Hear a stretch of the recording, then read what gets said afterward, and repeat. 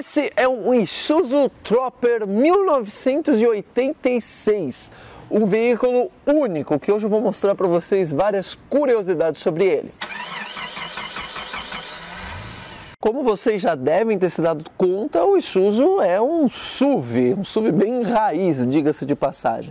Antes da gente sonhar aqui no Brasil de ter Toyota Hilux, enfim, o Isuzu já era vendido no Japão, o Isuzu Trooper já era vendido no Japão. E esse daqui veio por uma importação meio indireta, se é que vocês me entendem. Isso porque em 86, quando esse Isuzu aqui foi feito, bom, as importações para o Brasil eram proibidas. Na verdade, esse Isuzu aqui foi comprado por um americano e mais tarde trouxeram ele aqui para as nossas terras brasileiras. E sem dúvida nenhuma é um carro com muitas, mas muitas curiosidades por ele inteiro. E hoje vai ser um dia bem legal que a gente vai avaliar todas elas. Eu vou mostrar várias coisinhas bem loucas para você. E isso desde o seu tamanho gigantesco, seu formato meio de caixa de sapato. Vamos falar do motor dele turbo diesel, vamos falar do espaço magnífico aqui do porta-mala e é claro, claro que a gente vai dar um rolê nesse carro 4x4. Vamos começar falando aqui da parte da frente do Isuzu Trooper. Primeiro, a gente vê aqui pelo pela frenteira aqui, pelo conjunto ótico, né? Que é um carrinho bem das antigas mesmo. Eu gosto muito do, dos carros da década de 90 porque eles tinham assim uma liberdade criativa maior. Da década de 80, muito mais. O curioso é que se você olhar essa grade aqui que está pintada de preta, no original ela era cromada, junto com o farol bem redondinho, lembra um pouco os Jeeps, não lembram não? Fora que uma coisa que é muito legal nos carros das antigas, que você tem todos os parafusinhos aqui expostos, né? Você não precisa abrir o capô, tirar uma proteção plástica, desparafusar 15 parafusos para poder trocar uma lâmpada. Não, não, você vem aqui, desparafusa de fora mesmo e troca só torce para ninguém, né, roubar aqui seu pisca-alerta. E eis o motorzão a diesel do Isuzu Trooper. A gente está falando de um 2.2 de 108 cavalos apenas e 19 kg de torque a 3.000 RPM. É pouca coisa, é muita pouca coisa, se é que vocês me entendem, para um carro desse peso. Pesa mais que sua sogra depois da janta.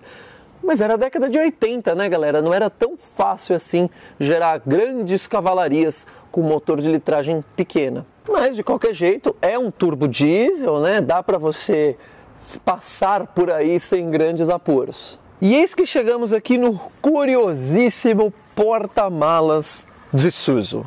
Primeira coisa, é, a gente tem um porta-malas gigantesco, aqui uma porta gigantesca, um vidro aqui dividido em duas partes, né? Você já deve até ter lembrado da Doblô, mas o que chama atenção mesmo é esse aerofólio aqui. Isso aqui deve ajudar maravilhas na aerodinâmica de um carro tão quadrado. Bom, vamos abrir aqui e dar uma olhada, né? Então, primeira coisa é o peso dessa porta. Galera, é, é muito pesado. É muito pesado. O Isuzu pesa 1.780 quilos. 780 estão na porta aqui só. E ela é tão pesada que ela tem um mecanismo aqui de trava, ou seja, quando ela está aqui aberta, se bate o vento, alguma coisa, alguém se barra, ela não fecha. Você precisa vir aqui e puxar a travinha para liberar a fechadura dela. Bom, porta aqui aberta. Na porta a gente tem acabamento de couro, olha só que maravilha, tem uma maçaneta que na verdade é um PQP aqui temos um gatilho de abrir igual de porta. Para abrir essa segunda portinha, como eu falei, como na doblô, você simplesmente puxa aqui embaixo e empurra. Só que ao contrário da doblô, tem um freio aqui, né? Donos de doblô vão entender. Mesma coisa, né? Tem um freiozinho aqui para não dar problema e temos acesso aqui ao gigantesco porta-malas. Já que dentro do porta-malas, bom, todo forradinho, uma belezinha, tem porta-trecos aqui desse lado, tem iluminação, tem caixinha de som aqui com logo Isuzu, tá uma maravilha. Eu não consegui achar dados da litragem do porta-mala, né? Não é? Vocês imaginam, um carro que nem veio para o Brasil e de 86 não é tão fácil assim. Mas eu diria, assim, tranquilamente dá para levar se você subir aqui até o teto, dá para levar uns 10 defuntos aqui sem problema nenhum. E como ela é inteira envidraçada até aqui atrás, bom, dá para os defuntos irem assim apreciando a beleza da paisagem por onde você passar. Estamos aqui no banco de trás da Isuzu Trooper. Primeiro, temos bancos aqui de couro nobre. Nossa, Lucas, mas como um SUV tão raiz tinha esse banco de couro nobre? O SUV que eu comprei ontem não tem. Pois é, porque esse banco aqui foi adaptado, não é o banco dela, né? É um banco de Mercedes, então a gente tem um couro nobre aqui, enfim. Mas o encaixe está perfeito, ainda bem. O que chama muito atenção é a janela. A gente tem janela basculante e assim, cara, primeiro o tamanho aqui do vidro é muito grande, a gente tem um espação aqui. Segundo, que ela é inteira envidraçada, como eu já disse, então você tem impressão de assim é, é, de estar num espaço muito maior do que ele realmente é. Isso é muito legal. E como se trata de um SUV raiz 4x4, temos alça PQP aqui para você se segurar quando coisa começar a chacoalhar aqui atrás. A distância para o banco da frente não é das melhores aqui para o joelho, né? Ele tem uma curvatura aqui. Dentro da curvatura me sobram três dedos. Em qualquer outro lugar, meu joelho encosta no banco da frente. O banco da frente está regulado para mim. Eu tenho 1,83m. Já aqui no painel da porta, a gente tem um porta-trecos. Aqui temos cinzeiro. Afinal de contas, década de 80, todo mundo fumava dentro do carro. O cinto, obviamente, só abdominal e também não temos encosto de cabeça para ninguém. Gente, década de 80 era assim: se você está sentado no banco de trás, você já está seguro. Não precisava colocar cinto, não precisava, colocar, não precisava nada. Temos luz de cortesia, o que é muito legal, e temos um cinzeiro aqui em cima aqui do túnel central. Falei, né? A gente cabe três pessoas aqui, tem três cinzeiros aqui. E para fechar a conta, o túnel central é quase plano, que é muito legal, e a gente tem saída de ar condicionado aqui para trás, atrás do banco do passageiro. Chegamos aqui no posto de motorista do Isuzu. E aqui, galera, quanta coisa diferente. Ó, vocês podem ver aqui, é um posto, é um painel bem old school, né? Bem rústico, bem bruto, da época que as SUVs eram realmente veículos brutos. Não que eu ache ruim hoje a gente ter conforto e tudo isso, mas é que a experiência é legal, né? Você vai dirigir um carro da década de 80, você quer essa experiência aqui. Pelo menos eu gosto de ter essa experiência. Bom, vamos começar com o que chama mais atenção. Vocês podem ver aqui que tem um fiozinho caindo. Pois é, a gente tem um console aqui, né, com duas gavetinhas aqui e o que chama atenção pra caramba é o rádio de comunicação. Câmbio, olha que legal, galera. Aí você pode falar, Lucas, para que, que eu quero um rádio PX nos dias de hoje? A gente tem o WhatsApp, a gente tem tudo. É, mas você tem que imaginar. Pensa se você vai fazer uma trilha com outros carros que também tem isso. Isso aqui é bem legal, galera. Bem legal mesmo. Tipo assim, psh, aí, larguei minha sogra lá amarrada numa árvore. Alguém tem uma breja aí, câmbio? Legal, hein? Aqui a gente tem uma janela gigantesca, galera. Claro que é manivela, sem vidro elétrico. Manivelona, a gente tem aqui essa essa coisa aqui que eu gostava muito, esse defletor de vento aqui que o ar bate na sua cara. Os montadores pararam de fazer isso, né? Fala, ó, oh, porque ajuda a roubar o carro. Mentira, que isso custa muito dinheiro para eles. A janela é bem grande, assim, tem um espação. Recentemente eu fiz o vídeo da Meriva e falei que a janela era grande. Bom, essa aqui é maior do que a Meriva ainda. Aqui a porta temos esse material de cor aqui, muito bem acabado. Afinal de contas, o carro é de 86 é um ano mais novo do que eu e está melhor conservado do que eu.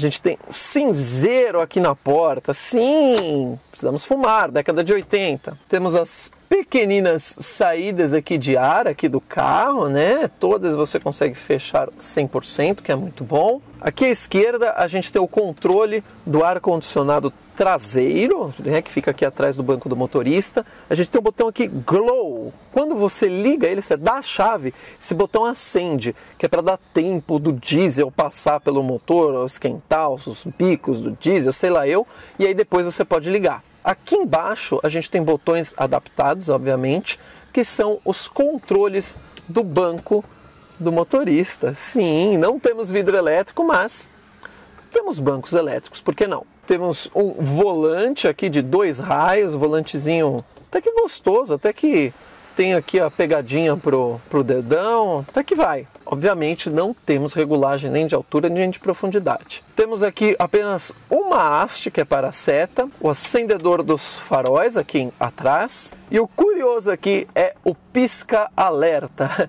É uma linguetinha que você puxa para fora para ligar. quando você termina o pisca-alerta, você empurra para dentro. Bem divertido. Aqui no meio a gente tem mostradores, né? Temos aqui temperatura do óleo, combustível, temperatura do motor. Logo aqui abaixo a gente tem o acendedor de cigarros. Claro, com tanto cinzeiro, né? A gente precisa acender o cigarro em algum lugar. Temos aqui os controles do ar-condicionado. Abaixo temos um rádio que obviamente não é da época o rádio, então nem vou perder tempo falando dele. Temos o freio de mão do tipo varetão aqui. Aqui no meio dos bancos a gente tem um console, então não aparece o carpete, que é bem bacana. A alavanca de câmbio de cinco marchas tem engates muito bons, surpreendentemente muito bons para a época do carro. Ao lado a gente tem uma manopla seletora aqui para acionar o 4x4, para acionar tração é, 4 reduzida, enfim. O carro nos dá um porta-copos. Um porta-copos. A gente tem cinco cinzeiros mais um porta-copos, ou seja, é mais fácil você fumar do que beber água dentro desse carro. Aqui no meio a gente tem um reloginho que lembrou muito do Del Rey, pena que é verde, não é azul como do Del Rey.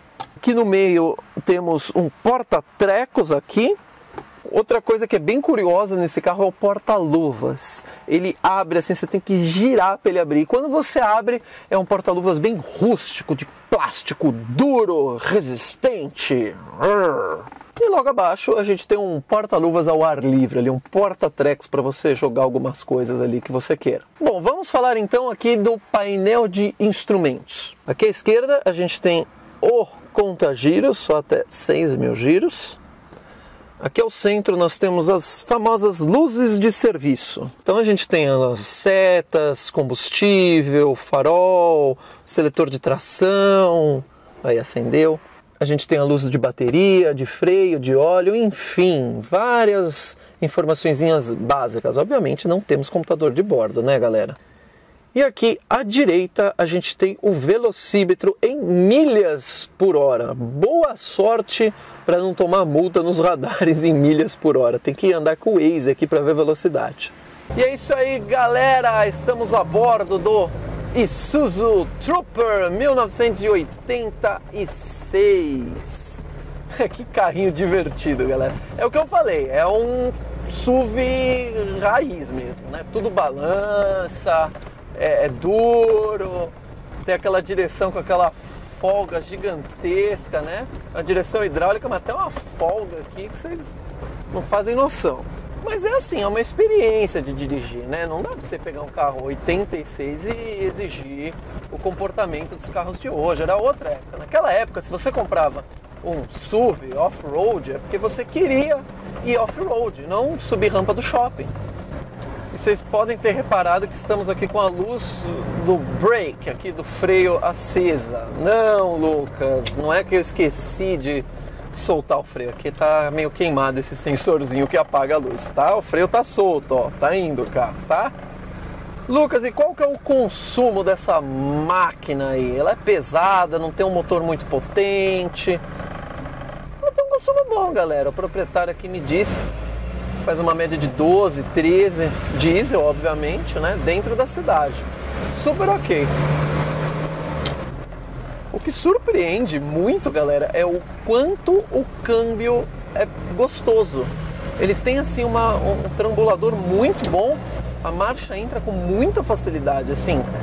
É, não deve para um. Se você pegar aí uma uma S10 2002 por aí, assim, ou uma Ranger dessa mesma época, não devem nada. É impressionante. A Isuzu tinha carros muito legais no Japão, nessa época aqui. É pena que vieram poucos aqui para o Brasil. Aliás, não veio quase nada da Isuzu para o Brasil, né? Eu acho que tudo que veio foi a importação mesmo. A folga da direção me lembra muito a veraneio, assim, é bem para conseguir deixar a, a, direção macia, leve, né, naquela época, a direção hidráulica, eles davam essa folga. Então você tem a impressão que ela é super leve, mas na verdade, galera, ela é leve, obviamente, mas esse super leve é uma folga que eles dão. E é bem divertido de andar, galera. Você pega uma rua esburacada assim, você se sente no rally. Bem divertido mesmo. Estamos nos aproximando da nossa prova de fogo. Vamos subir aqui a Avenida Pompeia. Carro bem pesado, eu tô bem curioso, galera. Eu tô bem curioso mesmo. A gente tá em terceira aqui, vou dar uma pisadinha. O problema é o radar, né, galera? Vamos, vamos de segundo? Porque como tem milhas por hora aqui, eu não sei quanto que é 50. O radar aqui é de 50. Vamos na manha aqui, vamos de segundinha, subir o giro.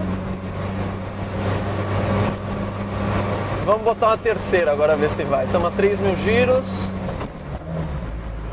É, não foi não, galera, não foi não. Vamos reduzir para segunda. Não foi não, carrinho bem pesado, não adianta. Acho que aqui a gente tinha que colocar uma tração reduzida aqui para subir. é muito peso. É econômico, né? Mas é muito peso. E esse foi o Isuzu Trooper 1986, um carro único aqui no Brasil. Gostou do vídeo? Deixa um curtir, tem outros vídeos do canal aqui para você assistir e valeu!